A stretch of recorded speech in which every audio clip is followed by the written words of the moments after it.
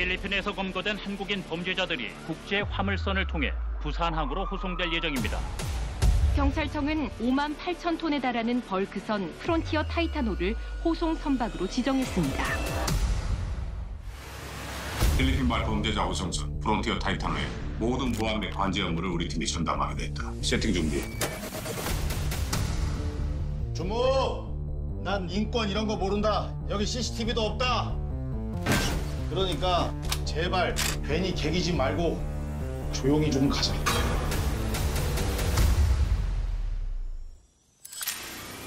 여기 한국 가고 싶은 사람 있어? 신호 끊겼습니다. 배 타기 전부터 기름칠한 것 같아요. 그냥 조용히 한국으로 가라. 원래대로. 인간답게 살라고 튀는 거잖아. 입에 내가 아직이 씨